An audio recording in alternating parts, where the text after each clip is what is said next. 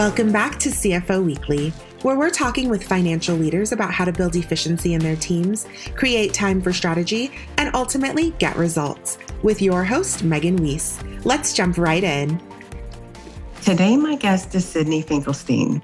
Sydney is a professor at the Tuck School of Business at Dartmouth College. Additionally, Sydney is a consultant and speaker to senior executives around the globe as well as an executive coach focusing on leadership, talent development, corporate governance, learning from mistakes, and strategies for growth.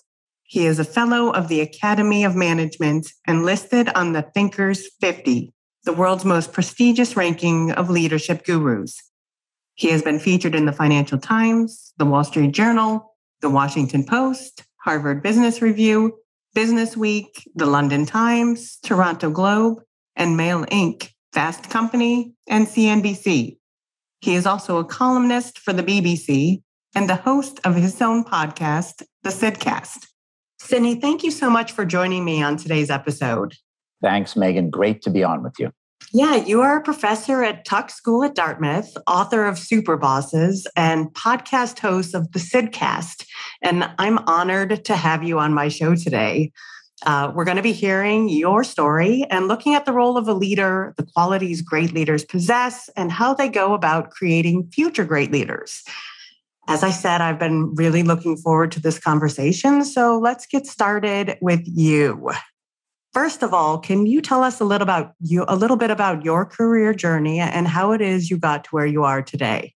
Well, Megan, how many hours do you have for this part? Uh, I'll I'll keep it I'll keep it short. I grew up in Canada in Montreal, and uh, early uh, um, after I went to college and graduate school, and um, had a chance to actually be a teacher and instructor at the university I went to in Montreal, uh, which is called Concordia University, uh, which is a great a great school, not that well known globally, but very very good school. And um, I was 23 years old, and they wanted me to teach. I didn't uh, I had a master's degree at that point, and I thought, well, why not? That sounds like fun. And I was scrambling to figure out how to do all that because, of course, I didn't have very much experience. I hadn't really worked with very many organizations, very many companies by then, but I did it. And I had a two year contract and I did really, really well. And what happened is my boss, who is the um, who was at that time the head of the department, the management and uh, the management department, um, and I now call him a super boss, by the way, uh, he basically fired me. Um, he, he told me, you know, you're doing well, that you're doing great. You know, the students really like you. But if you want to be serious about this career, you need to go get a PhD. You need to go work with companies more. You need to really kind of get immersed into the field. Um, and I wasn't happy to hear that uh, because I was having a great old time.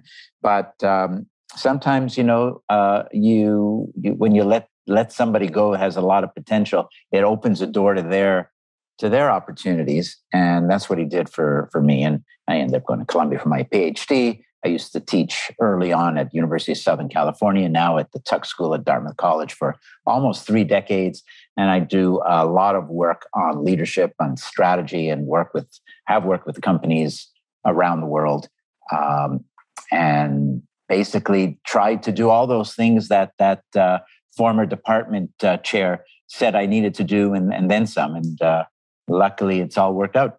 Yeah, it sounds like it has. And sometimes we need that that kick in the pants, I guess. Um, get us out of our comfort zone, and and you know, a change is scary but good. Yeah, comfort zone is a funny thing, isn't it? Um, yeah, it really is. We we like it because it's comfortable, but uh, I've spent my uh, I've spent my career trying to fight against that natural tendency to kind of just get comfortable with anything, uh, and you can't always you don't always do it, and sometimes you don't have to always do it because you have to be able to you know enjoy uh, you know where, where you know, your your present circumstance wherever it is. But I've always found the best learning comes from challenging and pushing and questioning and um, and it's certainly what I've advocated um, throughout my career for my students and for consulting clients and people that I coach, um, as well as one of the themes of what makes for great great leaders. So uh, it's a big point you're bringing up.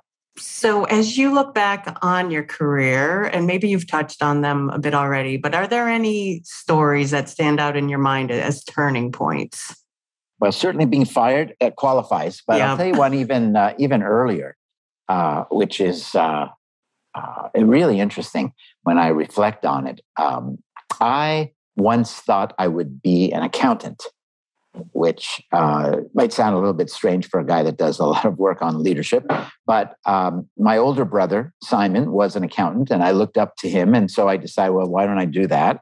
And uh, and I, in my first job doing that, I uh, I was doing some, you know, entry level accounting is auditing type work. I hadn't gotten my my C uh, CPA, was called the CA in Canada um, yet, uh, and um, I had my review with my manager and the manager, you know, said a lot of great things about, you know, that I was very analytical and uh, definitely diligent focused and getting, you know, getting the job done, getting it done quickly. But then he said, you know, if there's one thing you really want to work on, one thing you want to, you want to, you want to change. Uh, of course, I leaned in to hear what that was because I wanted to get better. He said, you really should stop asking so many questions. and that Funny was advice. my that was my last day in accounting, which I'm kind of proud of because I was young and what did I know? Uh, but somehow I had that intuition uh, that asking questions not only um, not only is it not a not a bad thing, it's an incredibly important thing, and and I've found that the best leaders ask the best questions because you know you can come up with a great uh, you you could spend forever trying to solve a problem or a strategy or direction or a project, but if it starts off with a question that's fundamentally faulty or not creative enough or not out there enough, then you've kind of been spinning your wheels. And um, and so asking questions is, is is is not just important; it's central. And of course, you know, kind of how I ended up kind of making my career. That's my job as a as a professor. You ask questions, and then you go try to solve or answer those questions, and that's called research. And um, so that was a that was a pretty powerful lesson early on, um, and one that um, was a real eye opener for me. Yeah, I mean, questions is the key to learning, and once you stop learning, um, life's pretty much over. Mm-hmm. Um, but I, I would like to think that the profession of accounting has evolved over the years. You know what? of course, it has. Um, I uh, and maybe you know I was one of these kids that just I always I always wanted to know more, and maybe I was starting to get annoying. it's certainly possible. It's certainly possible. Uh, Sounds like my very, son. it's very odd advice in any event, um, uh, but I thank him for it because if he couched it a little bit softer or something, maybe I would have been there in, uh, a bit a bit longer. Yeah, you would have missed your calling. Well, who knows? So, what courses do you teach as a professor at Dartmouth? So I used to teach the core business strategy course for many years. Now, over the last, um, and I used to teach a course on mergers and acquisitions as well. Um, but over the last 10 years, my primary courses are one that I call strategic leadership, which is kind of, you know, like a SID course. It's my stuff. It's the thing I things I do research on, the things I work on with companies, uh, and I just kind of created a course all, all around it. So it has to do with developing talent, how to be a great leader, um, how to hire and select talent, how to build uh, how to build great teams, how to manage uh, unexpected challenges as a leader. Um, and then the other course that I spend that I teach now, um, primary course, is uh, actually a two week intensive program for all of our uh, incoming uh, MBA students they all take this course and i teach i lead this and i teach in it but i have there are other faculty that i brought in to teach other portions of it. And it's kind of like a um, a boot camp and an orientation at the same time uh, to uh, to the two year MBA program, and um, um, and I've created all kinds of interesting experiential exercises uh, as part of that to get uh, to really send the signal that you know this is not school as normal. This is this is going to change you this is going to challenge you. Talk about comfort zone. And and this has potential to transform who you are as an individual. And i want to start to send that you can't do that in two weeks but i want to start sending that signal through a variety of different things that uh, that we we do in that in that uh, in that program. So those are the primary things i teach now. Yeah that boot camp sounds like an amazing experience. Um, of course, we can't all get into Dartmouth, but um, as we were talking about be- before we started recording, you've recently released courses on Coursera. So, can you tell us a little bit ab- about those? Yeah, this has been such a, a fun thing. You know, uh, there's so many online courses that are that are out there. It's exploded as a uh, as an area, uh, and I uh, I resisted it for a while, but now that we created this por- this partnership with Coursera, which really is a best in class, you know, global firm, they have hundred million learners, which is a crazy number, and um, and so I had a chance to put together four courses. Uh, they call a, a, group or a set of four courses a specialization for which they, if you pass them and do them, you can get a certificate. Um, and and these four courses are based. Three of the four courses are based on books and areas of work that I've spent literally decades uh, working on. So it's kind of like my my life's work uh, in here. And then the fourth course is brand new things that I haven't even written about yet, uh, about personal leadership and, and, things that I'm thinking about that I'm thinking about now. So um, and the courses consist of you know a series of of uh, videos that I created from scratch, as well as something like uh, 50 uh, application exercises, which is my way of saying, you know, uh, if you want to use the ideas that I'm sharing with you and the thoughts and the techniques and the methods and all that, if you want to use it, you need to know how to use it. You need to apply it. It's yeah. not enough just to be able to regurgitate it back. I don't. I'm not a believer in you know these quizzes that that sometimes you see in online courses. You know, multiple choice questions that tells you nothing for a topic like like mine, which is you know about leadership, strategic thinking, making better decisions, living a better life, even, and um, and so applying it uh, to yourself and to the people around you is where the action is. And so I created those as well. So uh, it's just launched. There are already thousands of people that have started uh, these courses. So it's very very exciting to see where it's going. And and you know your listeners can find it uh, uh, just by googling my name and Coursera and the specialization is called strategic leadership. Awesome. I'm definitely going to look into it. You also have a podcast, which is called the Sidcast. So, what's this podcast about in general? Yeah, this one, uh, I'm uh, I'm into my fourth season now, and it's just been so much fun. It's it's a uh, I call it um, informative and informal conversations with really fascinating people, and often people that um, uh, may not be as well known as some of the uh, uh, you know some of the famous people that are out there. I, I feel like, and I feel like I know everyone has a story, has an interesting story to tell, and I help that that person tell their their life story. And so we talk about their career, we talk about lessons learned along the way, we talk about their their life, sometimes their personal life, certainly growing up. Um, and I have people that are you know entrepreneurs I have some academics in different fields that are doing fascinating research.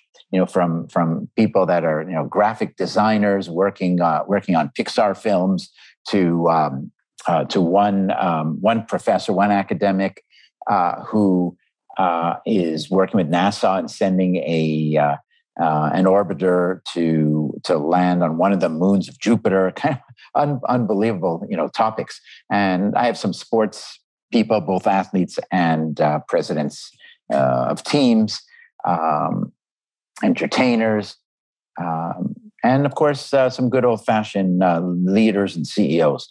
So, uh, really diverse types of people, great conversations, and um, um, a chance a chance for me to help somebody bring their story to a wide audience, um, chock full of lessons and just an interesting interesting conversation as well. Uh, and as you look back on the last four years, you have uh, an episode that stands out in your mind as maybe one of the more memorable or, or even your favorite. Wow, there's a there's a lot. Um, I'll, I'll, I'll share one that is it's the most downloaded of all the episodes. So I guess the uh, the audience or the marketplace has spoken on that one too. Um, and it's a it's a very powerful episode with a young woman named Kate Speer S P E E R, uh, it's a woman that um, she she talks openly about her struggle with um, with mental illness for a very very long time, and and uh, and and misdiagnoses and having to really um, really struggle. Um, but she over time started to figure it out, started to get better, started to get the right type of treatment, and found this is kind of amazing. Found that her dog, her pet, uh, could almost predict when she was going to have a uh, what she calls a psychotic episode, where she gets these these uh, hallucinations that are um, that are damaging, and the pet, uh, the dog, warns her ahead of time that it's happening, and comforts her before it even hits her, and so she knows something's about to happen in her brain that is not real, and it helps her. It's hel- and it helped her deal with it, and lo and behold, as she got better and started talking openly about this, she started to help so many young people that have these these um, you know when you're you're in middle school, high school, early years. It's uh, it's challenging uh, anyways. And then you have you have episodes that you just don't know how to deal with or not sure what to do with. And she is today the CEO of a company called The Doggist, which is so appropriate. Hmm. D O G G I S T. I don't know if you ever heard of it, but it started as an Instagram account by an out of work photographer in New York City that would take photos of dogs and add some captions. And they are, they have now become a real business. And she is helping them run and monetize the idea. And they have books and other activities as well. So it's a uh, it's a powerful story, a powerful journey that she shares bravely and openly, and uh, and a very happy story as well uh, as it's turned as it's turned out. Yeah, absolutely. That sounds like a very brave story yeah, yeah. Um, so last month you focused on leading through times of crisis and change. What's what's your advice for this? Leading through crisis, well, um, I've always been a believer in as hard as it as hard as it may be, facing up to the reality of the world around us, just kind of being willing somehow to say, okay, this is not good, this is scary, but this is the way it is. I call that intellectual honesty.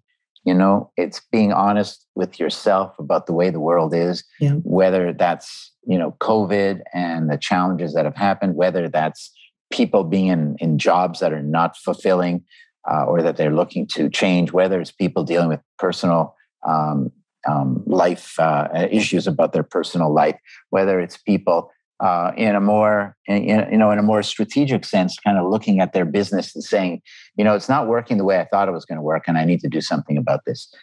And so you, you know you have to be kind of you have to be strong to do this. In the way that i described you know kate speer just a moment ago uh, the woman from the doggist having to eventually and it took it took a while but recognize that this is her life this is who she is these are the challenges she has to face now let's figure out how to how to do it uh, and I think that's my number one, um, my number one bit of advice. And it's a hard, it's hard advice. It's not that easy to take because, you know, we, all of us would like to sometimes pretend that uh, what we're dealing with is not real. Um, and, and I understand that, but sticking our head in the sand and ignoring change, ignoring um, crisis, ignoring challenges doesn't mean it goes away. And, um, and, and, and so step one is got to be um, not acceptance that life is like like like this, but recognition or awareness that yes, this is my challenge. Now let's figure out what to do about it. Yeah, the the word authentic came to mind as, as you were describing that. Yes, it's hard. absolutely. Yeah. It's a quality. It's hard. It's not easy. Yeah, it's hard to be yourself and to be authentic. Yeah, it it it it is. That's a word that's used a lot. Also, you know, authentic and um, sometimes being authentic can get you in trouble. That's the bad part about it. Not everyone is open is open minded, but I I really believe that, especially in the modern economy that exists today, there are so many careers, so many uh, um, career tracks, and so many things changing that we owe it to ourselves. Every one of your listeners owes it to herself or himself to to find the the the spot, the job, the situation that they find fulfilling. Work doesn't have to be just, you know, work. Um, and I know maybe, you know, not everyone's going to be able to get there. And some jobs are just, you know, tough jobs. But I, I, I think we should try. Uh, and and I could tell you also what those jobs look like. By the way, there's all there are several characteristics that you you want to look for or you want to try to create. You you want to create um, or look for as much autonomy as possible. This is one of the reasons why this work from home world we're in now and hybrid has has become such a big topic, and it's not going away. It's not that COVID has gone away, but most people are learning to live with uh, with live in a world where there will be some COVID. Uh, just like there's some flu and other and other things like that. But uh, but it continues this issue about working from home. A lot of CEOs I talk to are still struggling with this, and and the reason it's so central is because I think the underlying issue here is autonomy. People yeah. want to feel autonomy. They want to feel like they have some control over their over their their work, over their lives. And when they do, they are going to be happier and more fulfilled in that job. And that's what you want to you want to look for. I would say number 1, autonomy. Number two, impact a job where you can actually do something good for someone, something, uh, some aspect of society. I always say to leaders, to managers, you need to convey to the people in your team and the people around you that in that um, that this work means something, that it counts. And the question I I always uh, I always ask is, uh, you need to answer this question: Why do we exist? Why do you exist as a team or as a business? And there's got to be a really good answer. And if the answer is to make a lot of money, it's not a good enough answer. I'm a capitalist and I like a lot of money too, but that's not a good, that's not where meaning comes from. So mm. autonomy, impact, and I'd say connection. Uh, a job that allows you to connect with other people in some way. People need people. We certainly have seen that in our two years plus of, of COVID with so much isolation and, and the problems that it created. And, uh, and being able to uh, work with uh, either directly or indirectly people that you feel some degree of connection to, uh, that you get some value from, uh, adds adds a lot. So those are those are the characteristics of great jobs, and that's what we should be looking for. I don't think people should settle for anything other than that other than that whenever ever possible. Yeah, that's that's great advice. Um, and you and you brought up connection. How how can companies create connection in a world that's mostly remote? Any well, advice for that? Yeah, there there are a few things you can you can do. I mean, I'll give you a couple of very very simple practical tips. So when people are working remotely, I think looking forward, most people will have some degree of hybrid. Even if you're working mostly remotely, there will be occasions where you be where you will be face to face. In fact, my daughter started a new job in uh, November of uh, 2021, and she met her boss for the first time five months later, face to face. And uh, it's not unusual. She's a millennial. It's uh, you know this this happens.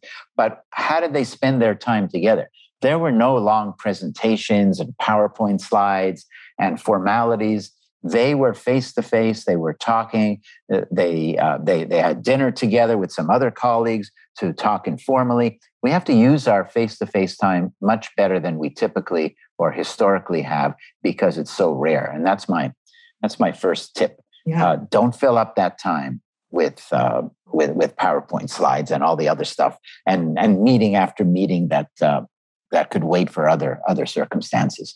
And then I think the the second the second uh, tip, and this gets to connection that's not just about accomplishing your goals, although it has a lot to do with it, but but kind of living your you living your life and building that connection uh, is we've got to schedule some one-on-one time with people um, where they could uh, where you could learn from your boss you could learn um, you could you could learn i think so much teaching so much um, development of individuals on the job comes from that kind of one-on-one uh, experience.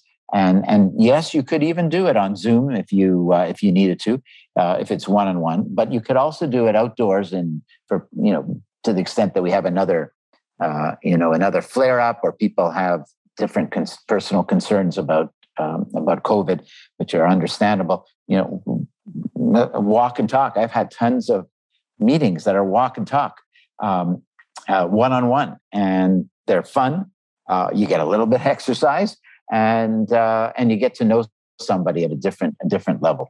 Um, and so we got to use our time well, and we have to look for more creative ways to spend time one on one to build that connection, and also at the same time advance our careers and advance our learning. You know, a lot of my students are worried about developing graduating students, are, are worried about developing mentors and, and, and developing those strong professional interpersonal relationships that are so critical to getting anything done. And, and they're right. If you're 100% on Zoom, it's going to be it's going to be tough to, to do that. So we got to be smart. We got to be uh, we got to protect our time and use it well, and we have to be creative as well. And you're also the author of the bestseller Super Bosses How Exceptional Leaders Master the Flow of Talent. So, first, let's start with the idea of a super boss. What exactly is that? Yeah, so super boss is a leader that sees the potential in other leaders, often before they see it themselves. It's a leader that uh, generates and regenerates talent really on a continual basis. It's someone that is great at scouting for talent, uh, for looking for talent, for identifying talent, uh, developing people, motivating and developing people, building strong teams as well. And, and so it's not just a good leader or a good manager. Of course, they are that, but they, they have elevated the importance of talent um, to a level that um, stands out. And working for a super boss leader is one of the absolute best ways to accelerate your career as well, because they they'll they'll help you get better. They won't always make it easy.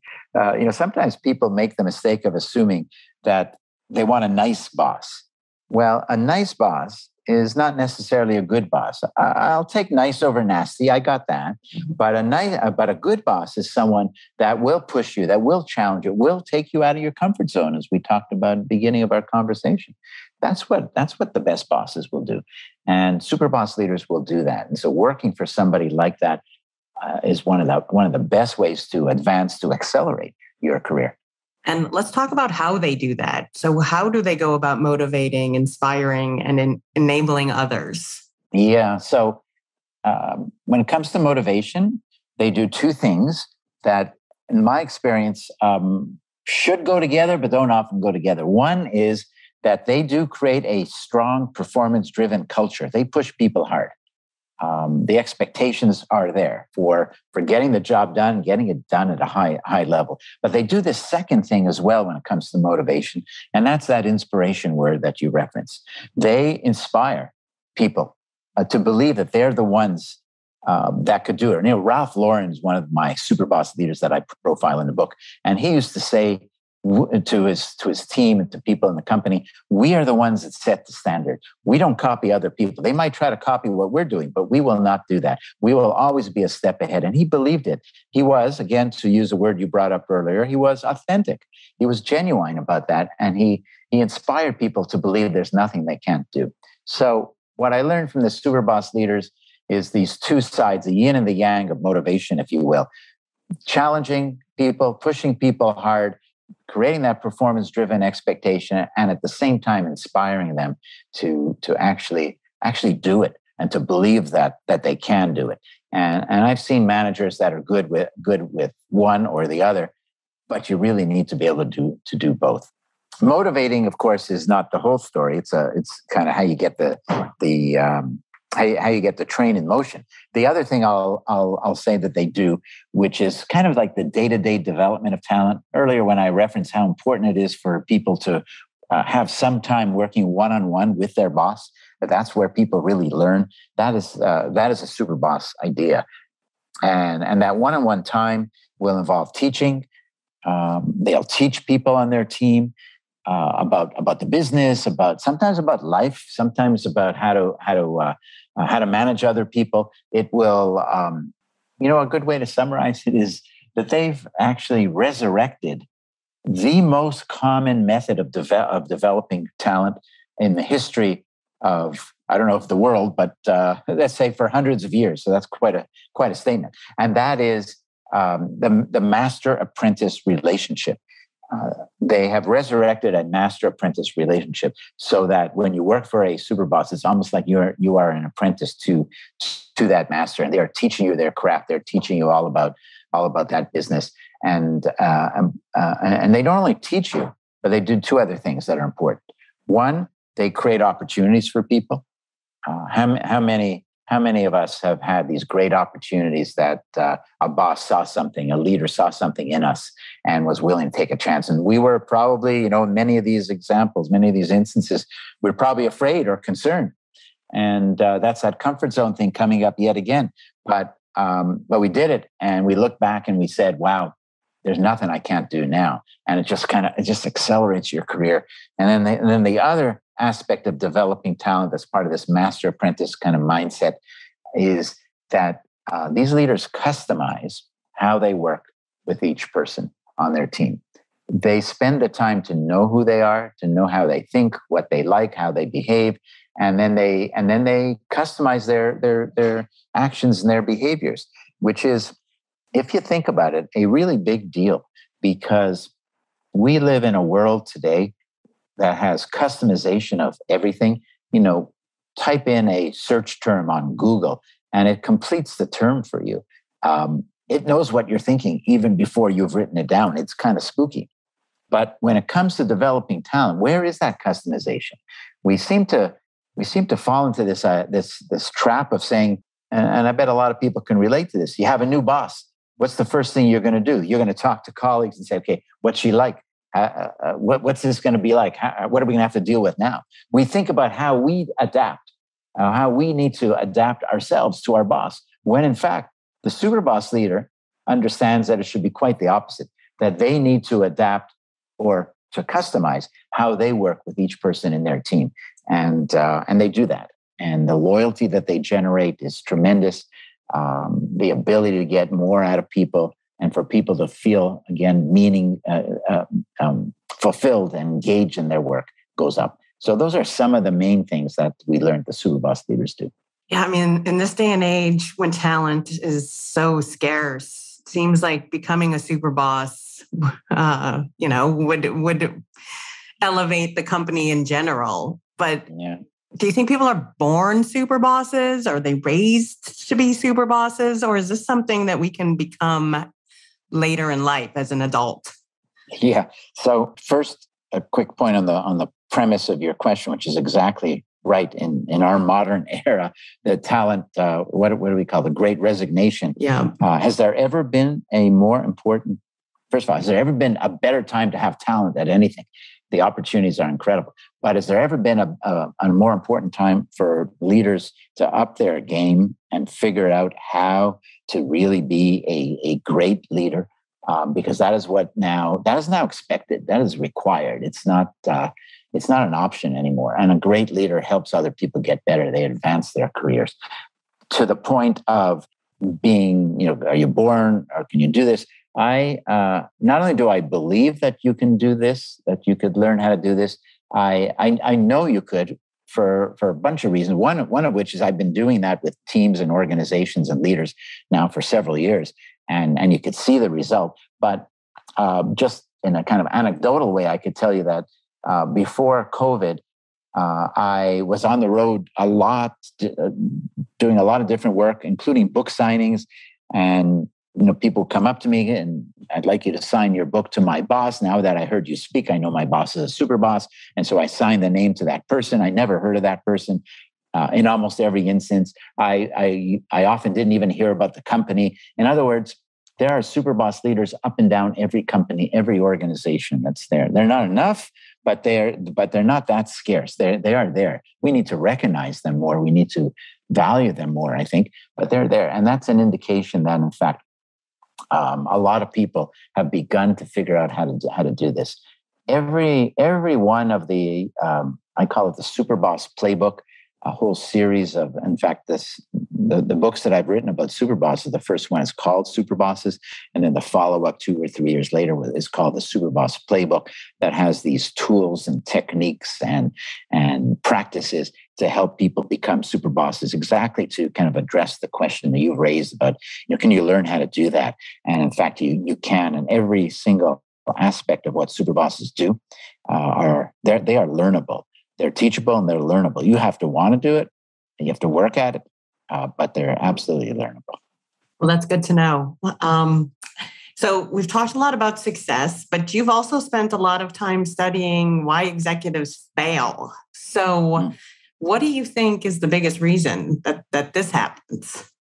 Well, that's uh, that's quite a big question. Um, I wrote a book called "Why Smart Executives Fail" and did a lot of follow-up work uh, on that on that topic. And there are, there are a lot of reasons, but if I were to if I were to kind of drill down into the single biggest reason, it is that sometimes people, meaning meaning leaders, um, forget that some of the some of the flaws that all of us have as individuals um, and they could be biases in how we think. They could be believing we know more than we do. They could be arrogance and complacency. They could be uh, believing our experience is even more powerful and more relevant than it actually is because the world has changed around us around us. It could be because we procrastinate. It could be because we sometimes stick our head in the sand. All of those very human um, defects, if you will, uh, problems, uh, biases. When we allow those things to take hold as a leader, that's when failure happens, and that's what makes it tough because they're very they're very natural. There are times in all of our lives when we probably have fallen into some of these traps, and so being alert to them, being self aware, surrounding yourself with people that uh, are unafraid to speak up and to uh, feel that psychological safety to uh, um, to share their point of view, even if it dis- even if it's a different point of view than the one that you might have as a as a leader. These are the things that are uh, these are the things that are needed, and um, um, and so the irony is that the number one reason why what I call smart executives managers, executives, leaders that have previously been successful or have had some degree of success. The number one reason why they derail, why they fail, is that is is because they allow those those very human um, traits that all of us occasionally have to take hold, to take control of them, and not to fight back, and and uh, and and then fall into these um, fall into these traps of believing we know more than we do, and, uh, and not listening and, and arrogance and complacency and um, uh, and even to circle back to one of the first things we talked about not willing to put ourselves out of our comfort zone to try something new to change to adapt uh, because we we're just so comfortable with where we've been and uh, and we're afraid that something might go wrong yeah, I mean, we're all born with biases, and it, it's amazing to me just how many there are and, and how strong they are. Mm that's part of human nature but we need to know that. We need to be alert to that and we need to uh, we need to be self-aware. And you know what? We also need to do some of those things that are kind of softy things but you know i use the word reflection. Uh, reflection is just thinking taking a few minutes every day you don't have to take a lot a lot a lot of time to reflect and think about it sometimes even write down some of those things that happen to us uh, during the day and why and, and and reflect about why we did things the way we did you know, why why that's the case and learn more about ourselves. People do this, by the way, in lots of ways. It's not just sitting down for 10 minutes every day and reflecting. You can do it when you're jogging. You could do it in the shower. You know, when you just let your mind go. You could do it through meditation and yoga. There are a lot of ways to do it, but we need to we need to do it and we need to try to capture that and do it in a purposeful way. And what do you believe is the most necessary skill set today for an executive to possess to, to succeed? In the world of business? I would say the most important, the most important thing to succeed is to be unafraid of failing. And that's not easy as we as we know. Imagine what you could do if you were not afraid to fail. It would be spectacular. And it's that uh, it's that fear, it's that concern. But again, it's, it's a natural thing. For so for some people, it takes the form of imposter syndrome. For other people, you know, my podcast uh, not that long ago, I was talking to a CEO of a company who who said I, when I asked him, you know, what do you wish you'd done differently? And he said, I wish I wasn't so afraid. And he was successful. I wish I wasn't so afraid of making a mistake. Uh, it slowed me down, um, and it took me a long time to get to get to where I ended up. And it didn't have to be that way. So that's what I would say. Yeah, that's great Stop advice. so. Absolutely. I mean, I I look at my life and I know I'm I'm still afraid of things, and, and it it holds people back. It does. And it's again, like I said earlier, it's a very human thing. But we we need to we need to be alert to it. We need to know what it is, and we need to set ourselves up so that we don't let it dominate. And Sydney, lastly, as an expert on leadership and talent, what obstacles do you try to foresee for your students that are just starting out? And what's on the horizon? And, and what do you think is holding people back? Well, you know, all these questions you've been asking are great questions. And I feel like I, I can pontificate for a very, very long time because there's a lot of aspects to these, uh, to these great, uh, these great questions. Um, what keeps me up at night is thinking about uh, how I can continue to have an impact on the communities I, I care about, which in my case, it's different for everyone. In my case, it would be my students, it would be executives that I work with and coach, it would be my family and friends. Um, how can I keep getting better? How can I get continue to push myself to get out of my comfort zone so that I could do what I uh, what I've set what I've set out to try to do in my uh, uh, not just my career but my my life. And and I and I would say that you can translate that idea uh, in a much broader way to to to be the challenge for every one of us in whatever career track we're in, whatever whatever work we happen to do. We're always about impact. If we don't feel like we're having an impact on the world or our friends or our family in some way, we will be less happy. It is simply the way it is, and we will have less meaningful lives and careers. And I don't want that to happen to me. I don't want that to happen to anyone. And so that's what I advocate. That's what I want people to think about. Um, and and it's not a one and done. It is pretty much a continuous process of challenge, of questioning, and you know what? Of even creativity and courage as well. Sydney, thank you so much for being my guest today. I feel like I could literally talk to you all day. Megan, I really appreciate the time and the opportunity, and I. Uh, it's been it's been great to engage with you on these really really important questions. Thank you. Yeah, thank you. I appreciate you taking the time to be here with us today, and I wish you all the best. And to all of our listeners, take care. And until next week, when we're back again, I wish you all the best. If you're ready to boost efficiency and streamline your accounting processes at significant cost savings, it's time to talk with Personiv. Their people powered solutions have transformed the delivery of back office tasks and general accounting functions for decades, partnering with clients to provide everything from accounts payable to payroll services. See what Personiv can do for you by visiting personiv.com. You've been listening to CFO Weekly, presented by Personiv. Please subscribe wherever you get your podcasts to hear all of our episodes. Want to learn more? Check out personiv.com. Thanks for listening.